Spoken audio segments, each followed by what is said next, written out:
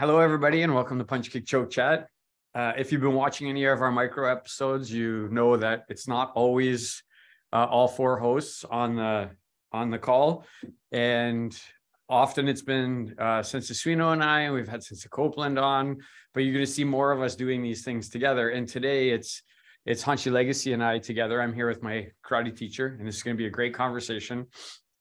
And in the micro topics, what we're starting to dig into is some of the historical figures in martial arts and our thoughts and opinions on them. And since Legacy is a wealth of knowledge when it comes to the karate lineage, he got me really engaged in that stuff. And so, how you doing today, Sensei? Everything good? I'm fine. How are you? I'm great. I love. I'm very excited to be doing this with you today, Sensei. Yeah, me too. Yeah. So I guess uh, I, the first question I have for you, Sensei Legacy, is you know, we're talking about Matsumura, Sokon Bushi Matsumura today, the founder of Shorin-ryu, which is the system that you teach me and you've been doing for over 50 years. Um, and the question I have for you is about Matsumura. when did he come onto your radar? Like, where were you in your training? Like, and when did you start getting geared up about the history of Shorin-ryu rather than just the training and physicality? Well, uh, you always heard about Matsumura. He's he is that figure that overshadows everyone else. Um, so I heard about him and Itosu in my youth, but I was I mostly focused in on um, Itosu because he was known for a great fighter, and uh, you know, and that's in our youth. That's that's what we're doing. Uh, so as I moved along in my martial arts career, I had several teachers, and when I got to Richard when I, uh, when my sensei Benny Allen passed away, I was sort of looking for a new direction, and uh, I was well trained in the physical part of it. And then I thought to myself, you know, I should probably learn a little bit about the historical and the spiritual side of the martial arts. And uh, then I went and uh, I went seeking, and I found uh, Master Richard Kim, who was the primary person to teach you the historical part and the spiritual part of the martial arts. So I, I trained with him for 10 years. And um, he had written a book called the, the Weaponless Warriors, which you should seek out and read. He's an exceptional writer because, you know, I it's a little bit like Robin Hood, the way he writes his books, and it's it's exciting and it's colorful and it's it's fun. That it makes you want to read more and more. And from him, the value was was not replaceable. He just had such a wide range of knowledge until he, um, you know, we parted ways and he passed away. It's interesting you say that stuff, Sensei, because um, I remember that's one of the two books that when I started as a white belt that you said, you know, I went to the University of Western Ontario, which is where you and I met. And coincidentally, I was going for history. That's the degree I was. And I remember you saying, you know, there's a lot of great history um, in martial arts. And you even said about read this book, Randy. And I just became so enamored when I when you gave me that copy of the Weaponless Warrior and I started reading through it, and then the Classical Man as well. Um, but Matsumura as a person, like just I, there's always a magnetism about him. Um, for me, then that those books led to trying to read more and more, and then with the advent of the internet, like you know, digging in more and more and more, and different teachers have little bits of information. So I've loved. I'm so grateful that you put me on that path of researching and looking deeply into the history. Um, I love it. So turning it that love, I guess one of the things is maybe we could go back and forth a little bit. What is when it comes to Matsumura, there's a lot of myths and stories, and those stories have to be based on some reality. Is there any one or two stories that kind of stand out for you, Sensei, that when you read them, you were like, this is so exciting and so interesting? Like Yeah. Well, I think maybe just for a second, I'm I'm going to let you know who we were talking about. Okay. Yes. We talk, he was uh, Bushi Sokon Matsumura was born in 1809 um, in Yamagawa village in Shuri, Okinawa, and he died in 1899 on steps near City Hall in Shuri, Japan. He was about five foot nine, and his um, his youth name was Inu Kyo, right? And his name was changed by um, an event that happened, which um, we can talk about. Okay. So where is it? Do you want me to go now? So, Sensei, the one thing, you know, when you say those dates, you know, even in some of the books, the dates are are different. And yes, so when people are watching this, they're gonna be saying, "Oh, that's not the date. This is the date." And the one thing I want to provide, um, people need to remember that in World War II, when Okinawa was bombed heavily, a lot of the records were burned and disappeared, and so a lot of this stuff is sometimes the best guess of the dates. Um, yeah, well, these dates are on his gravestone. That's right. That you and that you and I knelt in front of yeah. in Okinawa. So uh, you are right. There are many, many dates, but I just I went with the most common and yeah. the one is gravestone. Yeah, you got to stick with something, right? Like you can't just keep moving it around. But um, yeah, so any any of the stories of Matsumura, like I know I have some that I just I never get tired of reading them. And in every book, when I read them, I always still get excited about them. Is there any of those for you? Well, the greatest story, of course, is when uh, he fought the bull. Um, because when he fought the bull and, de- and defeated it, as you know, he was given the title Bushi by the Okinawan king. A lot of people take that lightly. And they sometimes call themselves Bushi, which means gentleman warrior or warrior, but they're using it um, as a common word. They're not using it as a title. Only he was called the Bushi. When you say Bushi to traditionalists, their minds automatically go to Matsumura. So it um, the story starts where the emperor of Japan gave the king of Okinawa a prize bull and because the taxes were getting high and uh, people had money problems and other problems, um, the king of Okinawa decided to have a festive season. So he he challenged Matsumura to fight his prize bull. Matsumura, is, as opposed to just being a physical fighter, he was an intelligent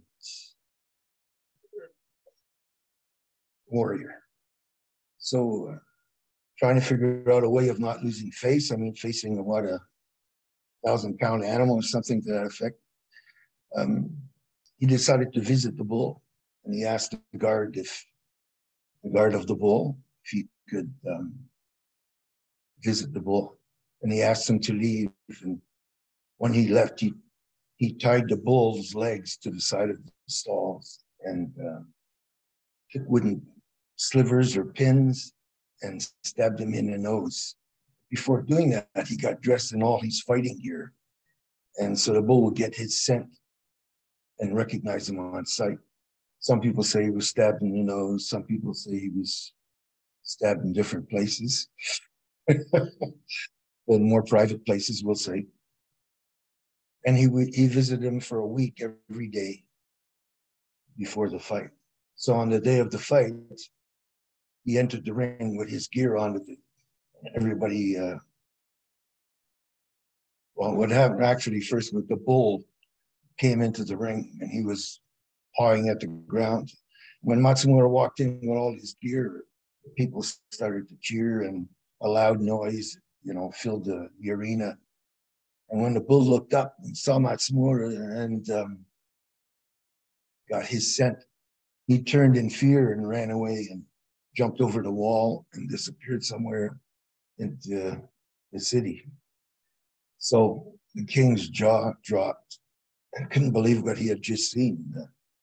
You know, his King Bull had just on sight of Matsumura had run away.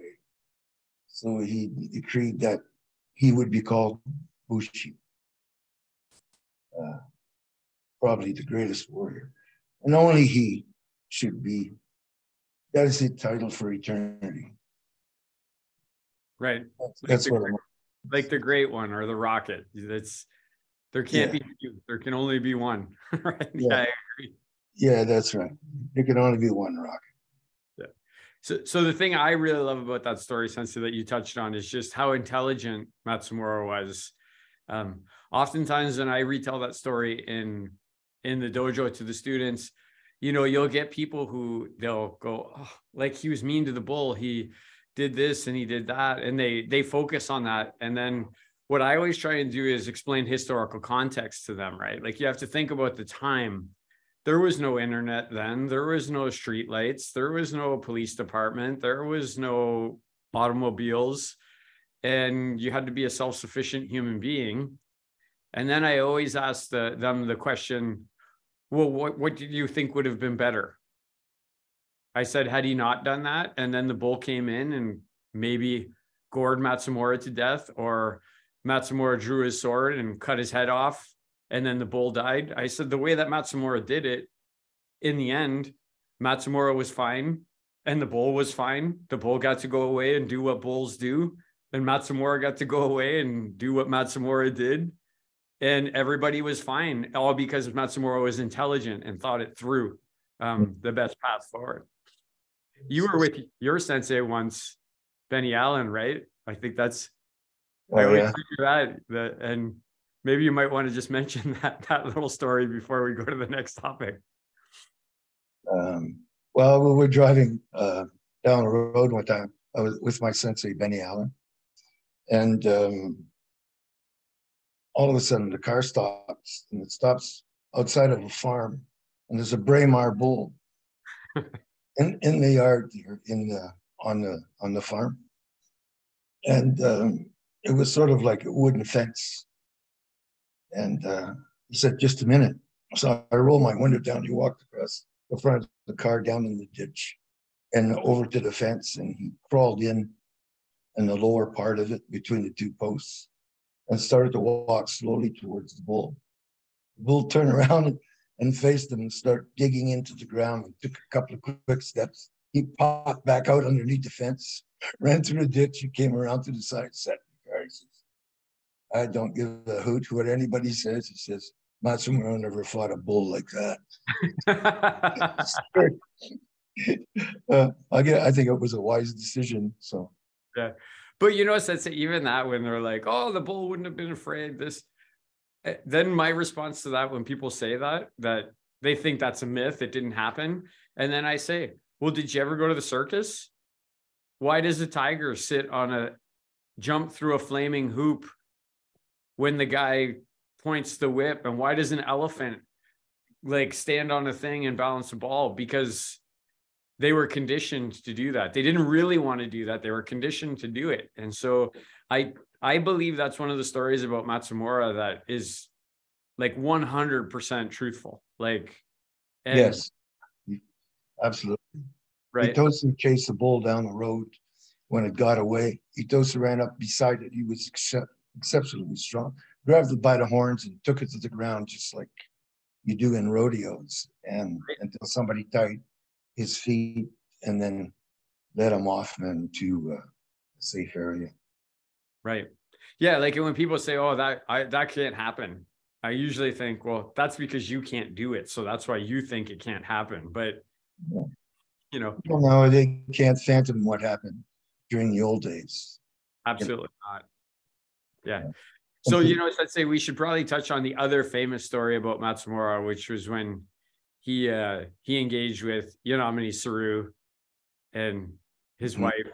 What happened there? And do you want to maybe, you know, and Sensei, as you're telling it, one thing to keep in mind is um, even though you and I have discussed this so many times, it would be good for some new white belt or somebody who's new to hear this, maybe that can't read the weaponless warrior and hears us talking about it, they might get excited about it as well. So maybe if you want to dig in a little bit on the Yanamini Saru Matsumura Yeah. background and story. In 1818, um, Matsumura married Yanamani Shiru. And she came from a very prominent family in the martial arts.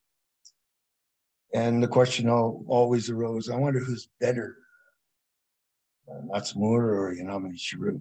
She was extremely talented.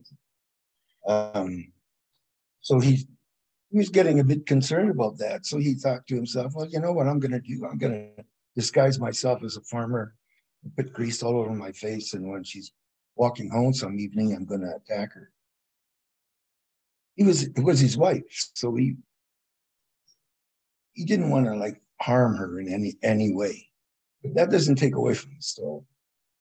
So anyway, he waited until she was about to uh, cross in front of him, and he leapt out of the bush and yelled a scream at her, and which put her into a fighting mode. And she automatically jumped up in the air, threw a double kick at him, and, a, and a, upon landing on the ground, she hit him with a back fist and knocked him out. so she uh, stripped him naked and tied him to a tree. Quite embarrassing, I, I would, I would think. And um, after that, a little while after that, Palace Guard, who he was he was training, came along and heard uh, him calling for help, and he was like stunned at seeing Matsumura tied to a tree naked. So, being his boss, he told him never to say anything to anybody. Obviously, he did because we know of it, right? Uh, so he got dressed and went home. He didn't know what to do because he, he really didn't want to you know, like punch her in the neck or do anything like like that. So he he, uh, he went to his sensei, Karate Sakugawa, and he said to her, "Look, I've just been embarrassed by my wife. She just." He told her what happened. He says, "Well, what I would suggest is that ever happen again, that you you faint to her breasts. Women will go to extremes to protect their breasts. It's a, a vulnerable area." So got uh, got dressed up again and uh, he attacked her in a different place at a different time. And um, he did do that. He feinted a punch to her breasts, pulled it, and while she went to cover up, he threw his arms around her and they both fell down and he fell down on top of her and winded her. So he got up and ran away. I guess in his mind that um, that evened things up, made him feel a bit better about himself. But uh, later on that night, she said to him, I knew that that was you. And I'm glad that you finally learned the lesson that an opponent is an opponent. Anytime somebody can defeat you. And uh, they went off into the history as probably the greatest couple of martial artists of all time. Yeah, the the one thing, if you don't mind me adding in, Sensei, was in the beginning, Matsumura just kind of dismissed it all, but then when he was coming home that time, he, you know, Amity had left that one party and got attacked by three men, and she had she had knocked them all out. And then when Matsumura saw them, and I think her obi was there, and he realized that that was her obi. Yeah, she tied him. Yeah, yeah, he would right away was like, "Oh my god, my wife is this good. Like she's as good as everybody's saying that she is." Yeah, she. Uh, I I sort of was saving that for when we talk about her a little bit, but uh, again, three bandits were uh, decide to attack her at nighttime. I, I guess they had evil intents there, but yeah, she was a wonderful kicker. She just jumped up, kicked one guy in the head, the other guy in um, had a sigh. She kicked the other guy in the chest and then distanced herself, distanced herself, and kicked the other guy in the crotch. Went down. She hit him with a back kick or a side kick. Things were tough in those days, you know. like, well, yeah. like I said, Sensei, right? Like people will say, "Oh, I'm supposed to believe she didn't know that that was her husband." And I always tell people, I'm like, "Yeah, but you're thinking about a light switch and a paved road and street lights and we're, what we're talking about is and you're thinking of Walmart where you can go just but like you've got infinite amount of clothes. Matsumura didn't have infinite amount of clothes. He probably had two or three or four pairs of clothing. And then so if he borrowed other clothes and borrowed a hat and disguised himself and hid in a jungle path, which is what we're talking about, and then jumped out initially she's going to think that that's just another person trying to attack her. Like it's definitely a different type of a situation and she's going to respond in court. And of course once she took his clothes off i think the gig was probably up at that point. But but anyway i again i just want to throw in there that i do think that that's a plausible story um based on the history of the time and where they were and what they knew of the world that that that could definitely be something that could happen. Also, he's five foot nine, which is you and I were in Okinawa. The people there are usually under five foot. Uh, yeah. And he was like five foot nine. He's he'd be a giant to me. yeah, like you're right about that. People often don't think about that as well. Like he is a big man. Yeah. Like anywhere, like not just in ok- Okinawa had small people, but five foot nine at that time in history would have been fairly big anywhere in the world. Like anywhere that you went, he would have been a fairly tall person. Um, Funakoshi describes him as having terrifying presence. And he, he was tall and thin and had piercing eyes. And uh, he also said about Obitosu that he was blindingly fast and deceptively strong probably from training with the white crane. But Matsumoto, uh, I heard that he was uh, his presence in the room. When he came in the room, everybody stiffened up. A yeah. bit like a bit like maybe Ali or a rock star or something to that effect in modern day. He was with a small G. He was godlike. When the guards, the guards even revered him. Right. But just automatically afraid of them. Yeah. And it, I always, uh, the one thing I thought about in retrospect was how I remember how you had said, and the research shows it, that he was known in China and he was known in Japan. The Satsuma clan knew him. He trained in these different countries and he was revered everywhere that that he went. And this was post internet, post magazines, post right? His that's just from rumor of his exploits. He was known so many places which tells you how great he must have been as a human being and a martial artist. They used to uh, uh, the japanese and the chinese used to take turns invading the island on their uh, holidays so to speak. And uh, they would make sure where he was and wouldn't go there. Yep. they wouldn't go when the Japanese wouldn't go when the Chinese were there, and vice versa. But uh, they also made themselves aware of Matsumura was, and they stayed away. They were afraid of him. So listen, since we're getting down to the last eight minutes of this, the time always flies on these. And again, we can do we can do Matsumura part two, like at some point. Like, you know, that's the beauty of this is we can we can go on indefinitely. Um, but the one thing I do want to capture in this is maybe, and I don't want to lead you, like whatever you think is the important contributions of Matsumura or the most important contributions of Matsumura. And if if you could maybe frame it around, you know, today, like some of those contributions are still echoing through time into like hundreds of years later. Um, so do you have any of those things that you want to talk about, Sensei, that you think are important that people should know about? Uh, yes, he was the person who systemized karate and martial arts. Um, he is everything from the past. Everything that passed, that came from the past, went through him and out into the future. And that will be forever, forever. Like that's timeless until eternity comes to an end, which never will, right? Um,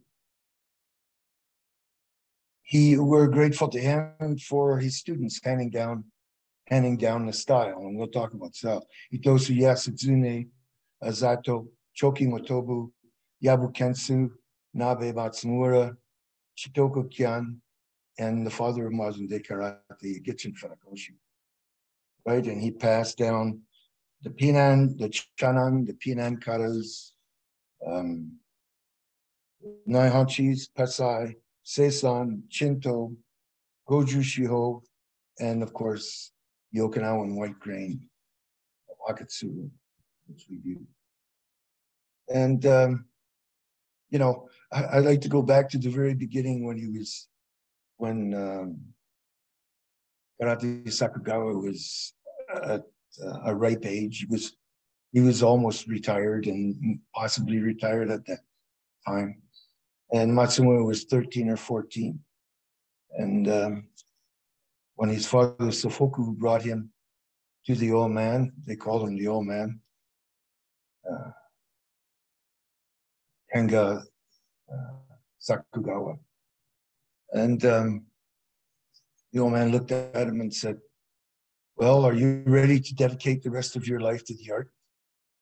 And the words that echo to me, echo to me through time is under, understated.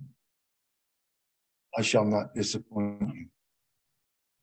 Became uh, uh, the greatest, the greatest immoral in martial arts of all time.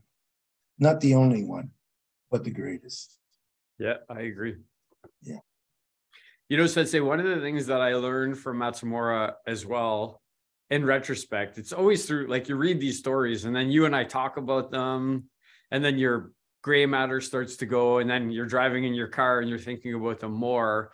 Was in the beginning, I used to think about, say, the kata kusenku, right? And I would think, oh, Kusenku invented that kata and taught it to Sakugawa, right? Or Chinto would be another good example, right? The shipwreck sailor, he taught Matsumura that kata, but no, I, I that's not what it was. It was they taught them techniques and then they invented a kata to remember the techniques that the person had shown them. And then they named it after the person to show respect to the person who had shown them those techniques that, you know, you're doing the Kusenku kata these are the kusenku techniques that I learned that I've put into this pattern so that we can pass it forward. And to me, that's genius. That's like a genius way of remembering things um, and being able to train them independently.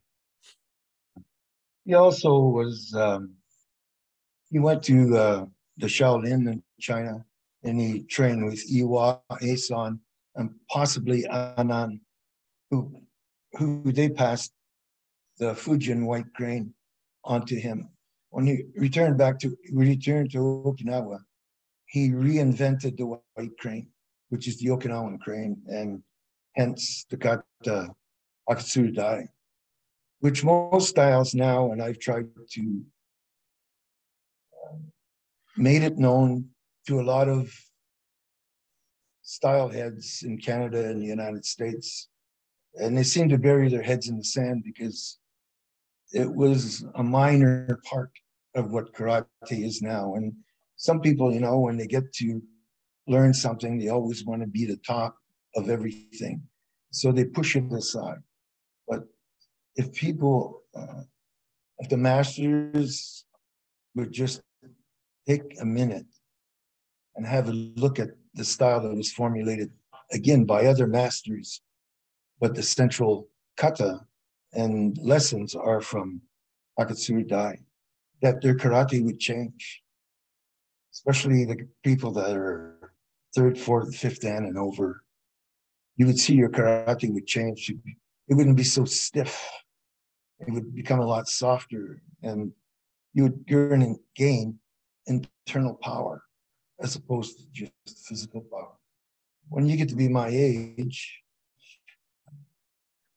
it's an easier art. It's not so, it's not done, um, it's not based on pure strength, but more like Matsumura, being wise and understanding that soft is hard in martial arts. Hard is soft. A lot, of yeah, a lot of lessons were passed down from him that are missed because people don't just don't want to be the student anymore. Yeah, and they they want to believe that it was maybe invented by somebody closer, right? Like in, or themselves. or themselves. And I guess we should I, I want to mention a little bit of Sensei Legacy's history here. If you you hear him often talk about White Crane, you know, I've been training White Crane with him for a really long time now. Like, you know, I've been in martial arts 33 years and I started doing white crane with him before I was even a black belt, luckily, because we were trying to get that built up in in Canada. And Sensei Legacy's history there is with Sensei Anthony Sandoval, who you've heard us talk about. But Sensei Sandoval lived in Okinawa for 18 years and sometimes unbroken for like eight or nine years at a time. And he trained with a lot of masters, but one of his primary teachers was Hohan Soken, who's Matsumura's great grandnephew. And uh, I don't want to get into too much of Hohan Soken's history, Sensei, but he would be a good one for us to talk about in the future. And you know, I'll give a little teaser. He was in Argentina training displaced from Okinawa. When he came back, um, his karate was so good that they just elevated him to a 10th dan on the spot because they were all a little bit afraid of him because his martial arts was so good when he got back on the island. But Sensei has a deep, deep knowledge of White Crane from a very good direct lineage from Matsumura, an instructor who trained very deeply, Anthony Sandoval, in it and passed it along. Um, and the other thing I want to say about that is, you know, you might think, oh, since Sandoval's lived in Arizona, Kentucky, North Carolina, Minnesota, I can tell you from personal experience, Sensei Legacy went all of those places multiple times a year, over and over again. And Sensei Sandoval, it was not uncommon for him to be in Canada five, six times, seven times a year. Um, training with us and teaching us. So um, that may actually some people got their nose out of joint a little bit because we kept having him here so much and going there so much. Um, this is it, Sensei. We're we're done. It flies by so fast. Um, but we're gonna do more. Like we're gonna set up more of these. We're gonna release them. And I guess as we're going out, Sensei, um, any of the events and stuff coming up that you want to talk about that people should know about the ones we're having this year that continue on every year? Um, well we're having of course on february 18th we're having our shiai it's been running like 40 some years. What's and, the name of that shiai sensei yeah. The matsumura challenge. Uh, and um, we're also having a camp this year from uh, July the 8th to the 15th, I believe. And uh, it's going to be for, for children who will be taught at, at one level.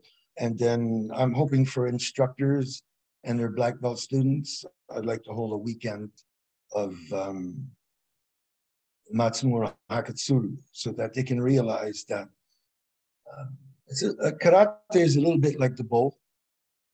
You learn how to use wield your bow but you can put many ends on the bow. You can put a spear, a naginata, a ball, you know, a lot of different things. And that's what this is. Uh, the, white, Okinawan white crane is a weapon again on the end of karate. And that's why our style is unique, which uh, Randy actually named, named Legacy Short. It wasn't me who named it that, but in our style, it is intertwined with the Okinawan white crane. So that's what makes us unique and a bit different. Amazing sense. And so when we have these events, so we're having the Matsumura challenge.